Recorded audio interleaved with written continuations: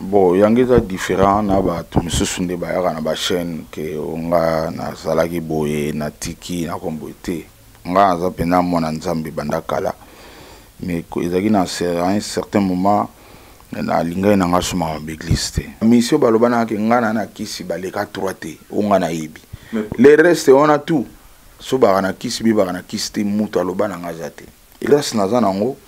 Na bandi miziki bo mona banda na banda miziki na tambolaka nde na bato ya desordre wana nde na kondima biso pe te bato saka accident ezalaka eh, voiture au present pipe kale bazalaka na present madilu na present tex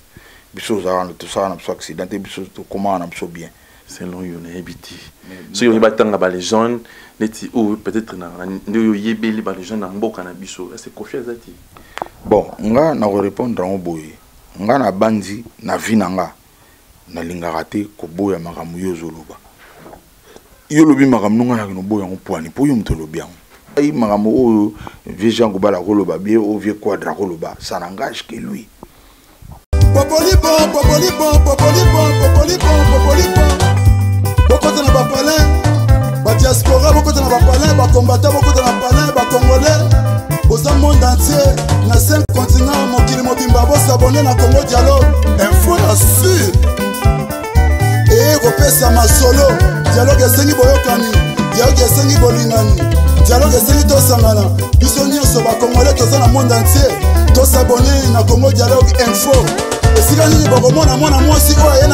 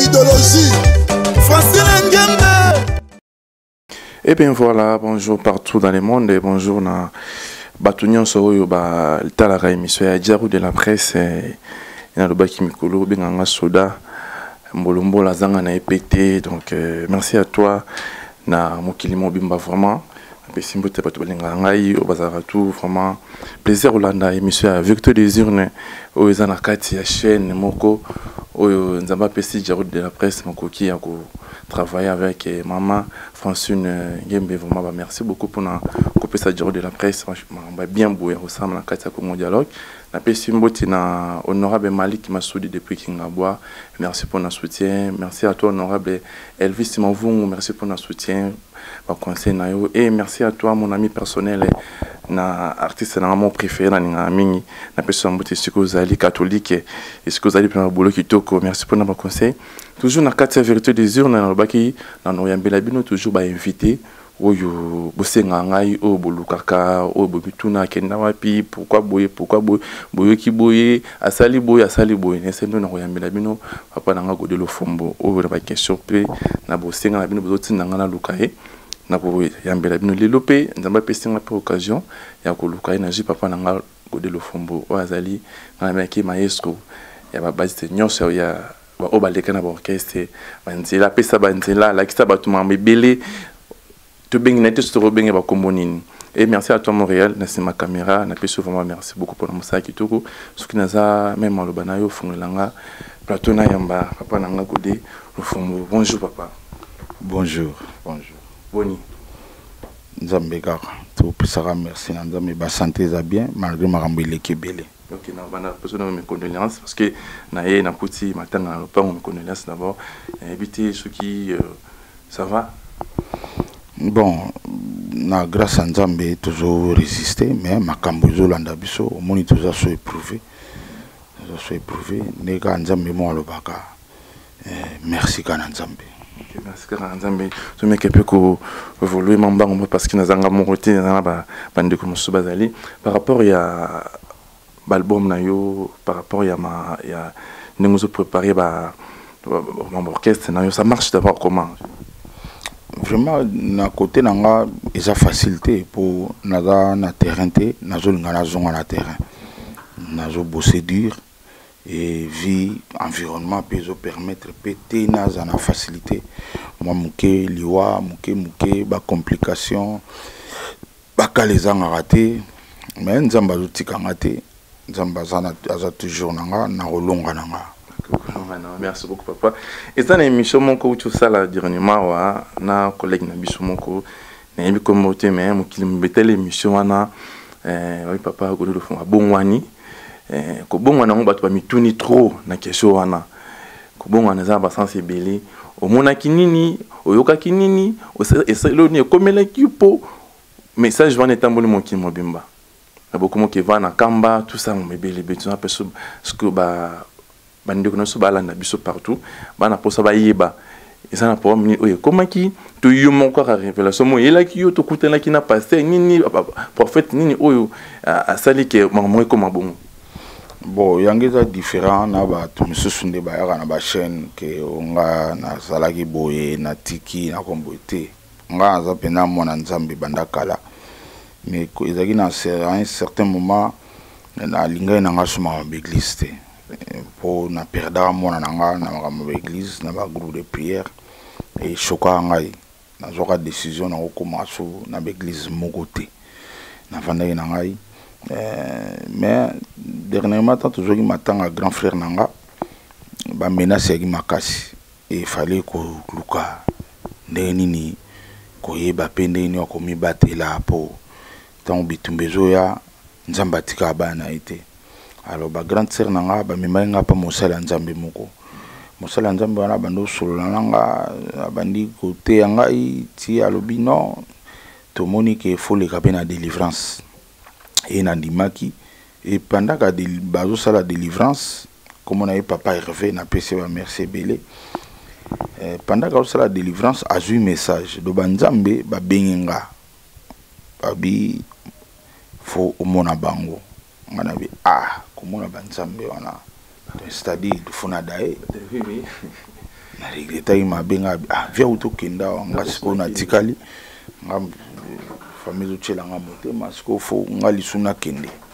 alobi na nga te banzambe babi fo kende nkamba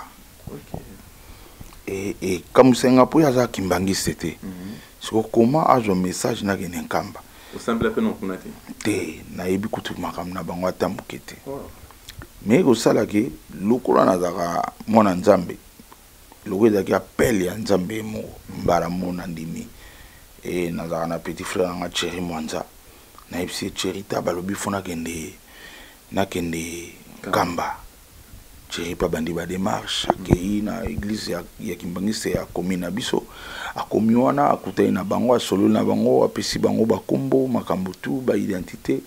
e ba démarche tu esalami donc kuna eza blague te eza mpenza ndenge balukaka ba visa ba france ya ba oh, angleterre ndenge mpe balukaka visa nkamba eh. oh. eza na ba démarche à suivre faut respecter e tu esalami na pete pa visa ebimi ntango visa ebimi namemi yango pa paster wana mm. papa herve tala place otinde nga visa ebimi mm. atali alobi eza nga te bango moko banzambe basengaki okutana bango moto alingaka atelemela demarche oyo alingaka azwa problème et na comprendre na zui nzela nga mona volant tikamba pour la première fois na na memela bongo nga mona volant na komi bina tinkamba mais loko sikoyo frappa nga même awa na kin na centre d'accueil tant na kei accueil oyo baoyambela biso o sentir que ah bien moko eza awa omoni nzambe ntango asalaka asala makambo na ye donc bien moko eza wana kimia hmm, gentillesse moko ezofrappe nga mai naotala na nga kaka ntango nakomi mpe na nkamba ndenge moko e makambo nakuti na nkamba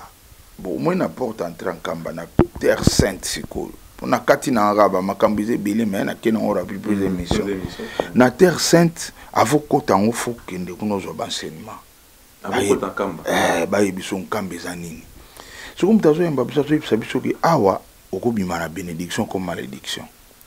mpo eza terre sainte place moko ya boye na monde eza te eh, soki okoti kuna kobima okobima na bénédiction soit obimi na malédiction soki abanda oloba awa elingaka boye te awa elingaka boye makambo to olobaki wana nakangi ka maboko sikoyo na jongo bino sérieux donc sikoyo lokola naza na besoin nabima na, na bénédiction mm. faut respecter premièrement nanu nalongoli sandale nalataki nango nalongoli yango e nakoti terre sainte makolongolo tokomi kuna na kati eh, ezalaki ba, ba, ezalaki soir hein? tokomi deya ba ba 19 heures ba 19 heures sikoyo euh, bayambi biso na niveau mona nomona te donc gentillesse première fois hmm. mama abi biso ya papa toyambaka bato ndenge eza boye bokomi ka sikoyo bokei na restaurant bolia oh. soko bule na kaka kifuta ofuta te hmm. ok kuna bafuta eloko ofele makambo te toke tole tomeli balukeli biso place aolala batie biso na 4 maison Tolali na tongo nango toye. Nga siko boule nanga kaka po pasteur papa Herve alobaki na nga soki oke kuna sala effort okota na mausolee ya papa. Okota na mausolee. Nga siko boule nanga coop nanga po nga eza ndeti na ke coop. Oke coop eh. Na ke coop ka ndeti vivaka kaka kinois nga namoni père mona abimi ndenge ni faut ça tout père ayamba nga lelo ti. Na bandi dejà masolo. Abi ah biso ezaka boye te. biso baotyaka nkombo mm. soki ke molimo nzambe asali ke oza meteni baoyamba yo eza nango problème te papa pa complikaka te siko ngai na nkombo na ngai ezalaka mbemba ndombasi ça n'a rien avoir na lofombo na munu naosola nayebi uteka osola na lofombo ayebi na ye te ah. papa wana ti papa pasali makambo na ye ngai mpe navandi place na yo comprendre ke ah, awa kope elekaka te deuxième leçon awa nzela troisième leçon makelele eza te do bana ayaki wana nano ayoki telefone ya moto esone te do bato tu na nkamba baregla bavibrere baregla dona kuna bulu eza te tala place abongoko nano namonango te na mokili kimia nga mo mpenza nadimine er sikoyo nayebisi cheri na femme nanga mpo tozalaki na femme na cheri nga bi cheri obike klaxon karo ebetaka pampamba nde to na nkamba boye nga namoni fo naboma klaxon mpo na vola nango bo te sa nango eloko tata lobi e eh, nasimbaka vola bopa papa nazwa bena pince okay, na batterie oh, naboma yango te te na batterie te nake mpenza pla klaxon elaka nabomi yango oh. eh, baya kosala yango na mbanda yango na retour tala si bayebisaki ngakobanga te mpo si basplikaki yo déjà ke awa hmm. soki otosi te bien te do fo otosa eh, nazalaki nango na motu epuis hmm. bonzambe ezosala Et après wana tozalaki vendredi na pokwa samedi na tongo nga moko naye su na bacope na nga naka neni pera oyamba te nga kaka nazokende kaka na bula cope pera oyamba te babi te papa omoni ndenge oyebwe ke nanu kodejeuner ah nayebi somi kena ko déjeuner bongo te ofele kasi na boule na nga oyo na boule na nga ti touti kini boye tomemaki baplan basucre bamapa tokabaki yango nyonso eh. eh, tokabaki yango toyebaki kaka ke ndenge ezalaka ke okei makambo te hmm. oza na faut préparer mwa nini mwa mbongo mpe na poche heure moko okobaye kutu na entrée ya, ya nkamba ata tokomena gome matadi ngai nayebisi femme na ngai boluka tuni tokóma babi gome matadi eza lokola 70 pourcent ya trajet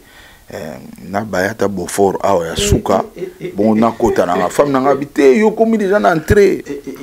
koba ye te ngai nabeta ata beaufort ya suka avant tokota nkamba femme na ngai insiste nameli kaka maltina tokoti nkamba donc bato baki na balara na biso toyebi ke heure moko kokende obaye croyant bongo ok kuna mpena bo nzambe nazoyebisa epuis heure moko esali ke oh, non papa azoyamba bato nkombo na yo ba ekoti na liste toye mpe tovandi na salle d'attente tozeli tozeli tozeli ti heure moko baye koyebisa biso ah papa akati nanu azongi heure moko susu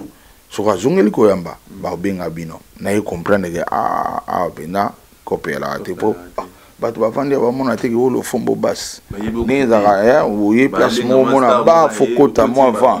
na comprendre bina nga mona bia a ah, bonzambe ezawa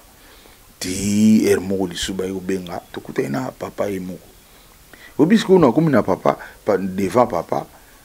bulu na nga kaka ke fo oyo batindaki ngai ya mozole siko papa asali priere premier eloko efrapaki nga priere na ye eza ndeti oyo toyokaka awa te priere ya papa ezali azosambela motu na nga eresonne bien oh. ezala bien dekone te asambeli motema na nga asambeli parti ya nzoto na nga tu ntango eh. avide atuni ngai olingi nini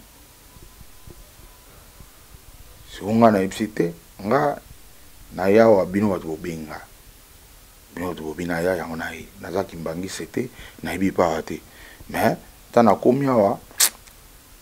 na comprendre mpenza ke fo nasenga yango naye nalingi biso liwa eza ebele na libota epuis nga moko nayana eloko te Papa talinga talinga maman abi mbuta lofombo oza chef oza mokonzi abenga na kombo na yo abenga na kombo na nga yo pesaki kombo te napesaki kombo te abenga na kombo na nga lobi mbuta lofombo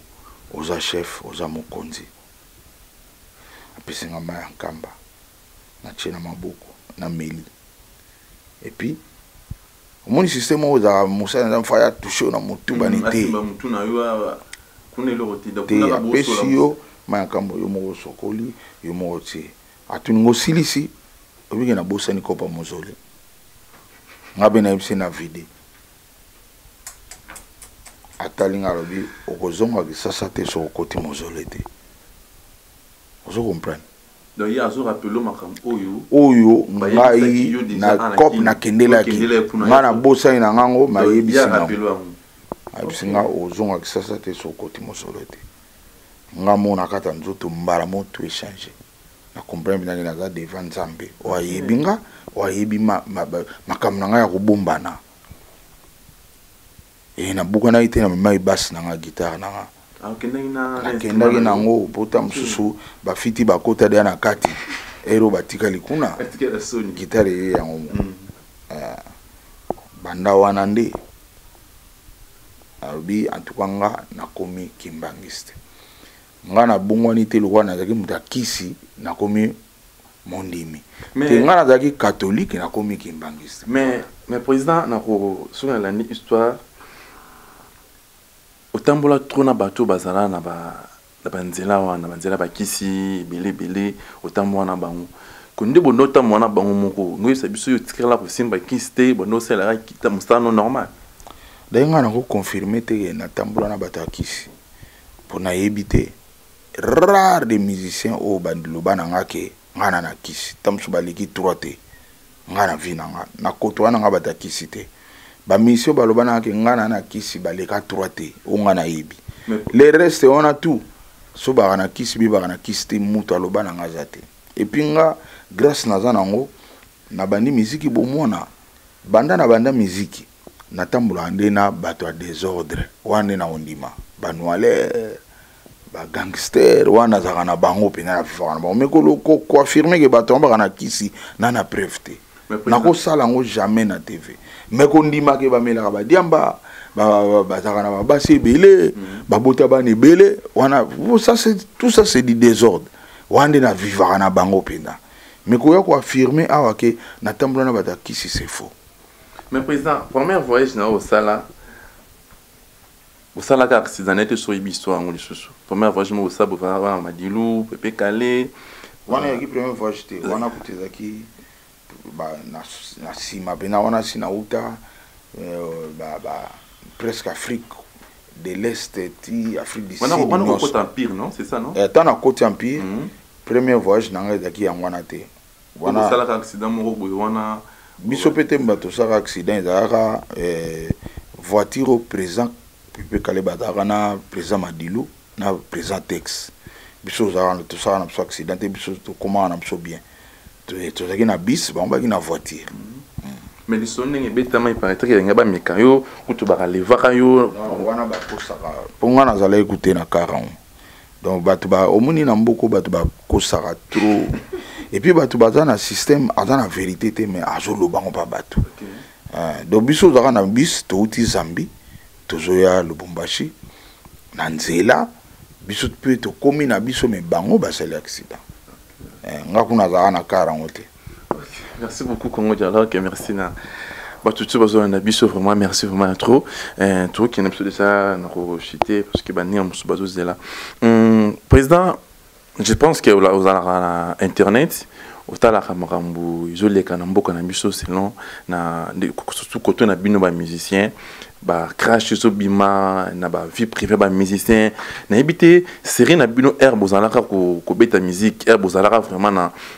na linie wana ekozalaka na monde wana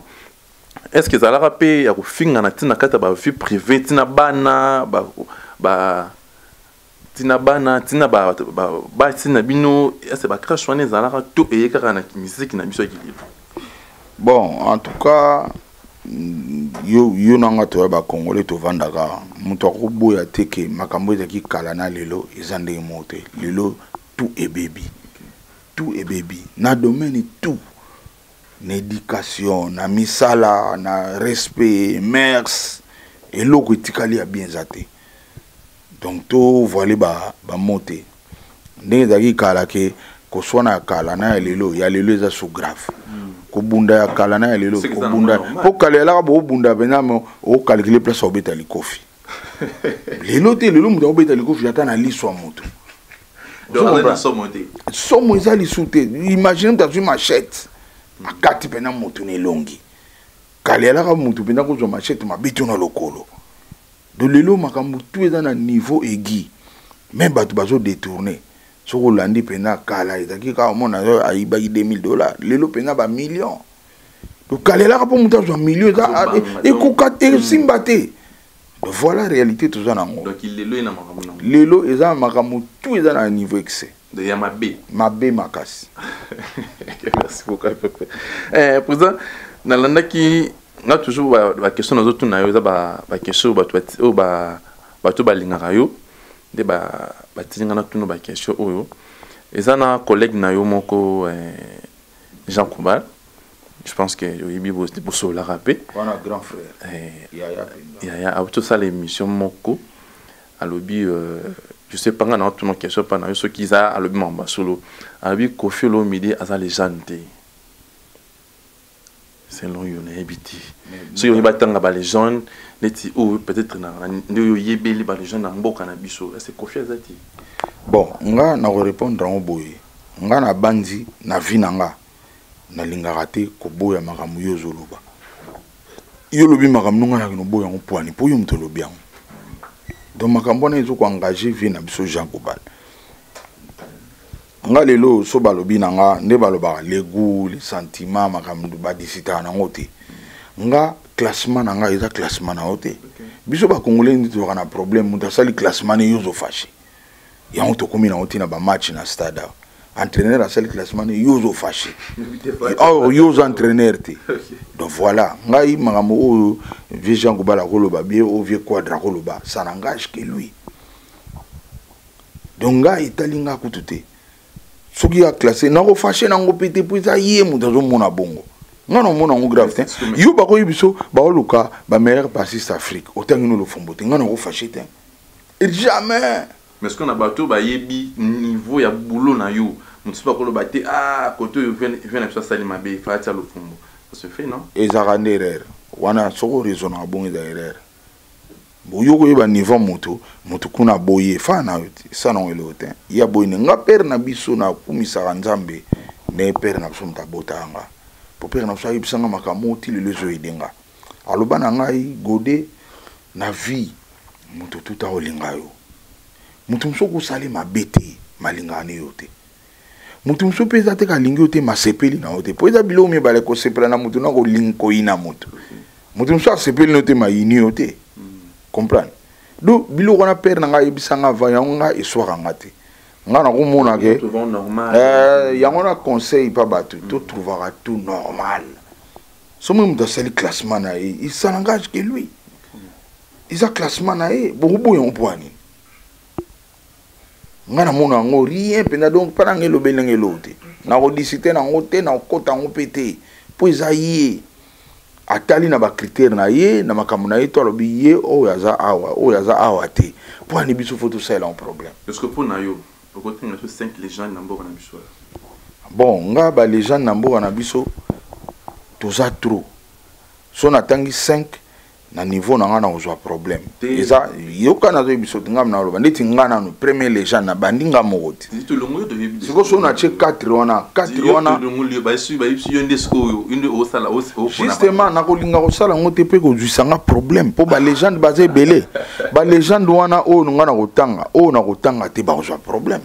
bakosepela te yo moto oloba ah que non yo moto soki yo osali classe pourquoi bacongolais baraisonnaka bato mabe mais yo moko osali classement na yo selon yo te mais nga sikoyo na vivaka na balégende eza ndenge moko te na bafane nga na vivaka na balégende na vivaka na bango sikoyo na mitie nga moko etikali 4 4 oyo na kotanga nde nayebeli balégende ya mboko baza 4 te baliki ebele d'où na kozwa problème donc eza baquestion soki oza mayele te obanda otanga yango lobi yo moto kozwa problème ah bon? nga nakosala sentiment ya bato te mpo nga nazwa problème ocomprendre donc nde naza awa balegende baza ebele na mboka oyebi legende ngai moko ntango bayebisi nga ke yo mpo ozalaka legende nga mpe bato bayebisa nga me eza na moto mosusu mpe akoboya na ye me sikoyo moto ayebisa nga ke nga mpe nazalaka legende so aleki na tv sikoyo atangi nga te bia bosani nga loba ado moto wana aza aventire ya kokosa nga voilà donc na vie fo koyeba kopona makambo ya kosala na makambo ya koloba ndeti wana ndenge wana nakosala yango te mokili oyo esepela te mokili kutu te balegende mpo nga mokili na kipa na nga te hmm. balegende nde bakosepela te oui aloba ah, yata ye nga te mpo ani oh, nga na makambo nasala boye boye boye boye voilà ok merci beaucoup eh, tozokende biso deja na kochute eh, président naye te question ngo napose soki napose yango bien je sais pas to peut okocorrige nga apport nayokaka balobaka eh, pepe kala azalaka cofondateur ya maison mare Est-ce que ezala vrai ou eza faux? Bon, na fondation nyoso eloko tout fondateur azalaka. Fondateur nde moto a explikaka bato ke ye aza cofondateur. Soki omoni moto aoloba no na coin, sukisa ye bongo. Donc ndenge yo oza boye soki ocree eloko na yo, yo sikoyo moto okoloba ke ah moto oyo atiaki nga poids. aza cofondateur yo moto oyebisa bato ya teke biso bato oya oloba yango soki ekomi ke biso tomana ye mpe aza cofondateur ye mpe aza boye wana tozo dekone na vie ezali fondateur ya eloko ye moto adesignaka ye moto asplikaka bato ke oyo cofondateur oyo nini bon wana fo kotuna yango na didie masela mais po ozalaka ozalaka trop ozalaka trop ozalaka trop mingi na pepe kale ozalaka mingi kotambola na ye okoyeba pe mwa histoire yango parce que eza na bato oyo mingi mosusu bayebaka te bana mposa bayeba vraiment soki vraiment un mosusu yo mpe oza na explication moko bokopesa mpe na ndenge ya bon en bref makambo orchestre wana ko nalingaka kutu kosola nango te mpo eza mauvais souvenir na nga lokola eza mauvais souvenir na nga to changer na biso chapitre ba ebebisa ngai humeur ebebisa ngai oui na malongi baopekisa ngai makambo wana mpo naosala malongi na kimbangisi naosala malongi bazopekisa biso euh, kanda baopekisa biso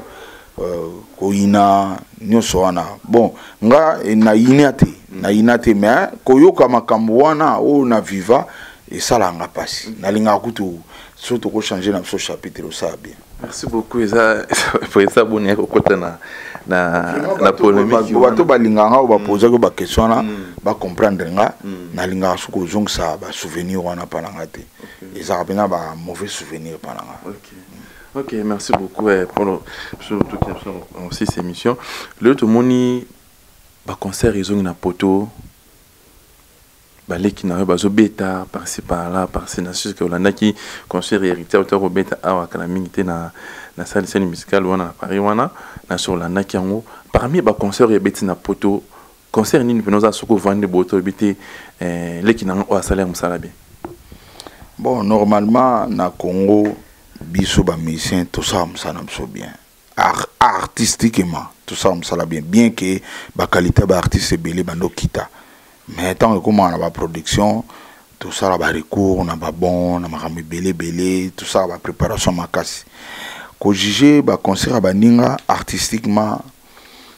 loba toloba ke o oh, bato wana soki basali mpiaka be bato batondi wana emonanaka na miso mais musicalement boye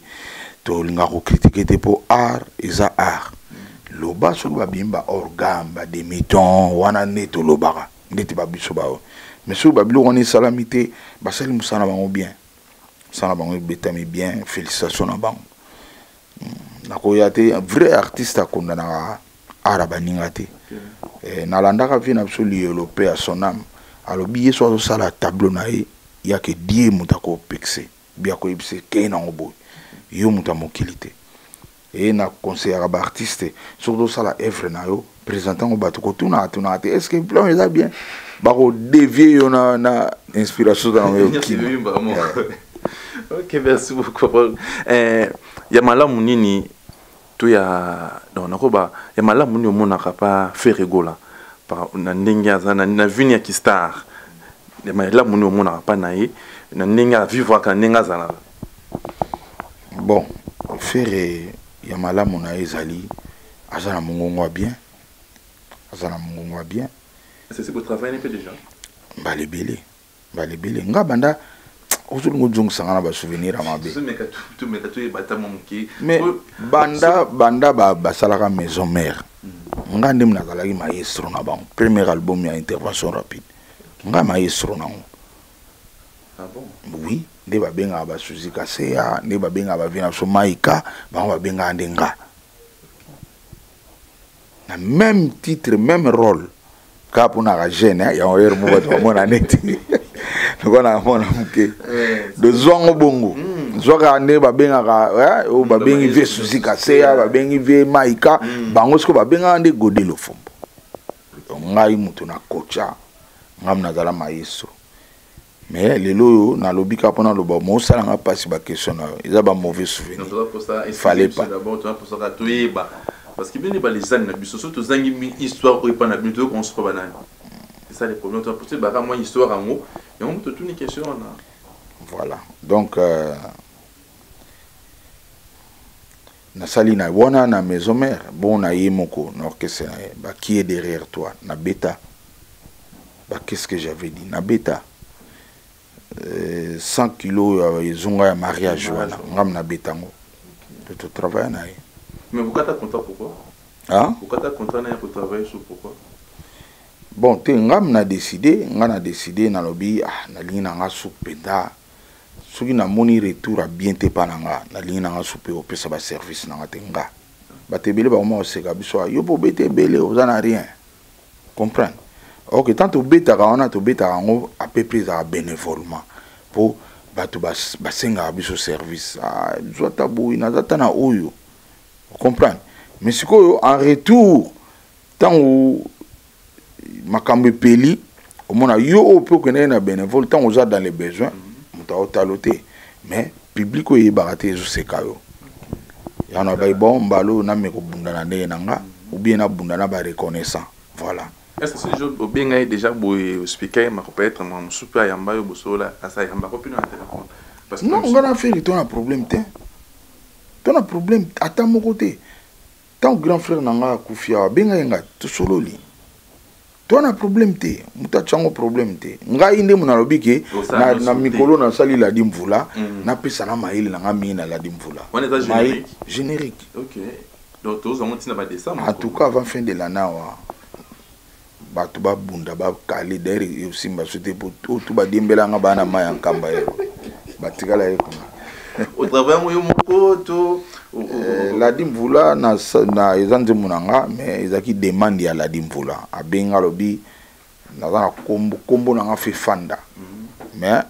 bayembaka bato na barumba bayembaka bato na banini ngai ozala une première yo oza danse na bagénérique salela ngai na générique e na raisonnaki trop nasali yango eza une première lobi baprêtre ebele basalela bango banzembo na générique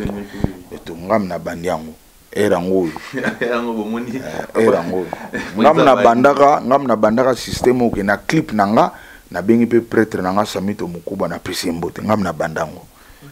epuis bato mpe balanda yango mpe susu ah. donc eza nango era yango tolobaka ekomaka lobi o te yalobaka te yasalaka mm. boye boye boye boye donc nazolaka bato ke nasalaka bulo kitoko makasi me na mokili ezalaka bongo nde nasalaka babulo na nga boye eza na succès makasi te mpo naza na mbongo ya promotion te oyo ekoma kosenga lelo okay. kala banzembo erenia sans kozala riche lelo mpo nzembo no erenie fo ozala riche oubie fo ozala na bato baosoutenir yo financièrement makasi problème na yango yango wana lelo oyo nzambe alalaka te nazwi maison production ah, eh, yango nomoni tobandaki na mavero ma vero esali makambo me na kin to echouaki mpo tokipaki kin te lelo tozwa na ladi mvula tokokipe kin eh, tokokipe kin hmm. epuis bato baya kosutuka sikoyo baotala éruption e eh, asalaka nde boye baotala volcan mpo eza nango na youtube wana hmm. me lokola bato natyaki bapromotion a 100 te bato batala na bango te me hmm. baoyo batalaka ndambo bakomprenaka donc nasalaka boulot ya danze meme ba honorina eza ezo date de euh, 95 non 95 te wana eza honorina 2004 2003 lelo soki otali yango na youtube omonake suka na clip meme ya epoque wana donc naza na niveau boulot oyo eza ke eh, nazalaki kaka na bamwa bamolili ebele bato bavandelako bakangaka yo basalaka nini yango nzambe ye moko abenga ye nga nzambe abenga nakutani na nzambe mm. nasololi na nzambe lelo oyo eh, makambo ebele ochange mais eza facile te mpo mibeko eza kuna mibeko eza facile te na kimbanguisme nazo s'adapter male malembe ti na kokoma mais tomona mpe bato ebele bakenda mpe na banzela babike tobongwani totiki boye mais omona bango baza kaka toujours na bavie wana neti nakoloba eh, exemple nakopesa na eh, na papa na biso edingwe tomonaki mpe akenda mpe kamba Mais tout le monde a vendu ti moi ba ba bloc wana azalaka ezalaka na ka tilo yo. Edingo pena kota na nzela sukura na maya nkamba. Yo so yoka so edingo amati mutu na poto banda wana. Vie akoma vena ti na cellule omona ende ti nga. Nga so oye na église mikolo na mbangi so bano kutanga. Cellule na biso eza na révolution so oye na ba 6 heures okutanga. ezalaka différent bamosusu bakendaka na makambo na loyenge na bamosusu bakende makambo apele ya nzambe eza différent moto mosusu ake base moto mosusu akeili mpena apele eza différent eh, différent mpena bokovivre yango bovivre yango eh, président question na ngai suka mpo toshite ya mabe nini oyo depuis obanda carrière na yo ntina lelo nde boye obongwani boye ya mabe nini oyo omonaka efale mpo osala yango to mitunaka nasala yango mpo na nini ah nga mpenza lobaka ata nazalaka na, na basi ya libanda apart wana nga naza na nga mabe te kala nazalaka nango sikoyo namonaka mosala na yango te epuis na mibeko kuna babeta se te kutu donc Ok, merci beaucoup déjà à la fin de l'émission. Merci à toi Muriel, merci ma caméra, merci à Bande Konyoso. Oyo Baranaka Congo Dialogue, vraiment, c'est Nabino Yango, likez, abonnez, partagez vraiment. Et que ça la biso bien, papa, bah, salutations parce que émission. Oui, Bambou Tenanga, na Yomoko, Ndengo Yetia, Wana Bumbu, et na bosanaka te bato baza na nsima camera wana nabengaka ba héros dans l'ombre ye ah, azosala tout mais bato baomona ye te nde toza boye papa luye na paris azotala émission feti ebandi ma amona ye te ntango mpe manda ekoya ye akoyeba te yo na ngai so tokei na bawesterne tozwi tokobengana biso ye te voilà donc ye aza lokola godelo fumba na miziki ya kongo oke kuna olambi awa olambi bato bazolia bazomela babini basepeli bayebi teke moto anyokwamaki godelo fumba mpe azalaki parmi bato banyokwami voilà donc napesi ye bambote ebele napesi ye babenediction ebele mpona mm. minute oblague te nalavaki nalavaki na mai ya nkamba soki okutani nanga nzela touche ata elamba na ngai eza important touche mpena hmm, eza important ah, lokola mpe nazotambola bien bana na ye nazotambola bien epuis nakomi accompagne na mibeko omoni vie moto akosa bino te fo mibeko baeglise to eza na kongo awa mibeko eza te oh. yango namonaka ke makambo mpe ekosimba rien mibeko te bango bateyaka kaka bazoteya na kimbangisme mpe bateyaka ma eza na mibeko omoni sisa ya moïse hmm. ayebi na na di commandement bou eza mpona biso tu mokili mobimba eh, nkolo yesu mpe ntango ayaki telema aza nzambe ye mpe aye areduire na de mm. e eh, kimbangu ntango aye lokola mpe aza nzambe mibeko efandi wana eza 12 mm. comprendre sikoyo baeglise tu batendaka na bango na makambo mibeko te ngai mpe natambola na baeglise te mibeko eza te tala na kimbangisme ozosanti mpenza soki obebisi obebisi mpo mibeko eza no mpenza na pembe na lisu pembe na litoi pembe na motu donc oui toza bato berere esalamaka tozomona mpe moto omona mpo kuna ezopekisuda ye kosilika epekisa okoswana epekisa okogangaka neti na oganga boye so mpo na bemisio na bino oyebi na bemisio tosaki na nkamba fo yoka voi nango volnayebisi yo kuna lola bande lola nazoyebisa yo taka place nzambe azali et puis preuve nzambe azali nini mai ya nkamba mai ya blague te kasi na bano be basubaya na ekina fo nazonga nkamba rapidement te omoni na vie ya na olobeli oyo moko nzambe ntango asali mokili oyo amoni mpenza ke mokili ekende bien te abifoye moko aya en chair ya noce Aya mpenza na mokili en tant que Jesus Christ, Nkolo Yesu.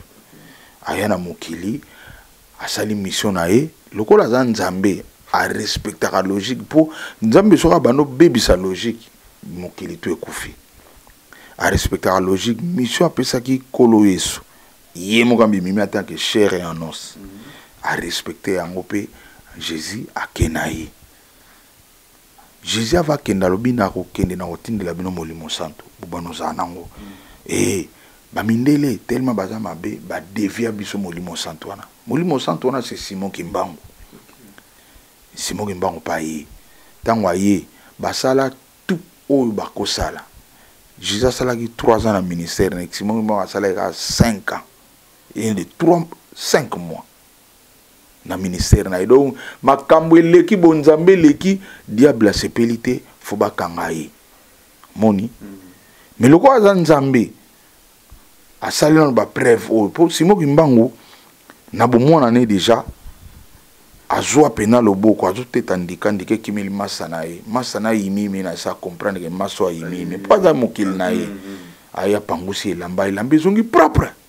Samayi. Papa ako penda. Ba temoignage ezali mais biso batu mwindu tolingaka koyoka temoignage kaka oyo omonaki na bible ou bien omonaki na livre moko eza ya soin oyo ya papa kupenda apesa simongi mbanga longola ye ndika na tolo wana okondima yango te nzambe kaka mpo alakisa so papa kupenda ke oyo nzambe azwi lisala kaka atie boye ba ekoma ndeke ozo comprendre mais biso na buzoba na biso na ke bon buzoba na biso pe te eza bamindele basala tu baefase biso mémoire do eh. yango wana nzambe aya atake simo kimbangu simo kimbangu ye moko alobi nazokende nakobotama lokola biso olingaka koyoka makambo oyo moto alobi jean ou bien luk bien romain ou bien eh, anael soki bakombo nde bolingaka bien netanyahu soki ya bango nde balobi wana bino boyoki mpo kimbango alobaki bien nazokende me nakobotama e mokolo akufi papa simon ki, ki, papa simon kimbangu kiangani abotami me yo kolinga no kondima te mpo lofumbo moto azo explike yo fale ezala jean robert de luc ou bien euh, monsieur mathieu soki nani omoni erreur na biso mm, mm. Euh, bamindele basala tout to comprendre eloko oyo te mais réalité yango na obetela bino lelo jésus nkolo yesu na simon kimbangu baa moto moko bonzambe en, tri, en trinite yango biso ozoloba na kombo ya tata mwana mpe molimo santu sikoyo eloko oyo verite oyo biso bato moyindo tondima yango te mpo lofombo moto azoexplike yango te or nzambe mpo aexplike bino mpo alakisa bino ke te ngai na nzambe alamusi bato bakufa atelemisi bakuka bakangi ye train ezokende te alobi na bango bobenga mwasi na ngai na bana na ngai bayawa mm. et puis ntango bayaki train de ekei bamindele wana basala rapport mpa na bango babi en tout cas moto oyo nzambe ye yo bango bayebi bayebi bamona nyonso non biso ignorance te balava biso cerveau okondima makambo ya motu na yo te voilà problème na biso mais ere yango ngai na ye nazoyebisa bino Nkolo Yesu apesaki misala ne na Papa Simon Kimbangu. Papa Simon Kimbangu ntango akei alobi nakei me nakobotama. Abotami lelo toza na ye ensemble aza na Nkamba. Papa Simon Kimbangu Kiangani. Soki oyoki maloba oyo gloire à Dieu. Soki oyoki yango te jour okozwa grace koyoka soni te sala emission. Sala emission ndeti nga mpe lobi naboyaka. lelo nazwi grace nandimi voilà nazosenga na mokonzi ya mboka papa nzambe moto atiaki yo wana jamais bokonzi biso na kimbangisme toza na respect ya leta eza parmi mibeko na biso donc soki moto aza mokonzi nzambe moto atie ye mokonzi ya mboka nauti nkamba na nkamba nakuti mibeko chef de l'etat zwa mibeko wana tiango na bamaternele nyonso ya congo bano baza na maternele baza na 3 ans 5 ans babanda kotanga mibeko ya kimbangisme soki bakomi na niveau ya 6e primaire mwana wana koyiba su te loba azala lisifere ou bien envoye me nandimi te ke bazalaka ebele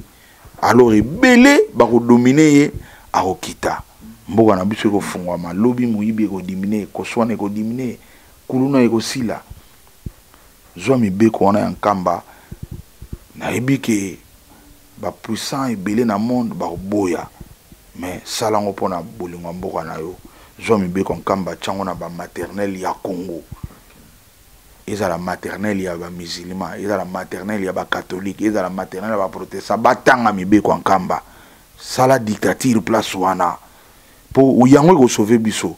na ba musulman lobi bakoma calme na ba catholique bakoma calme na mibeko ya nkamba ekosala ke mboka ekofungwama lobi ba o oh, conférence contre la corruption oh, bokende boye mpo bazoteya kuna ekozala nango sute mpo mwana ye moko azokola yebi ke nga nakobwaka soyi te na mabele oyo ezalaka sacre mwana oyeba ke na epapi oyo nasimbi nakobwaka yango awa te bakotyele so putu poubele te ye moko deja kombanake nakobwaka papier ta simbi yango tia kokei na yango ndenge biso totambolaka tomona ye na bapaya ndenge awa ezosimba te mpo mibeko eza te kotya yango na leta te ezala bato babundaka na bapolisier mosala ebele kende na yango na maternele mm. bana na bakomi na baprimaire esuka nango ata na sixième primaire mwana akomi da na humanité nayebisi yo mokonzi na biso kosepela na bamasano ayaki na boule mais bana ne ta mosusu na palais bazoyebisa ete papa ne faites pas ça esimba te voilà conseil na eloko na osenga apart nasengaka susu na chef de l'état mai na bumbu ebimaka te ta mosusu bayebisa yo oyo bazosala nano ebima te mai tisiko ebimaka te bana bumbu wana kotika yango te ti mokolo mai ekobima bana bumbu toza na bumbu toza na problème ya mai merci Ok, merci beaucoup Congo Dialogue. Merci à toi, cameraman privé. Michel, n'a pas vraiment merci pour nous. Merci à toi, les grands gérants, Nakacha Otoma, Glody.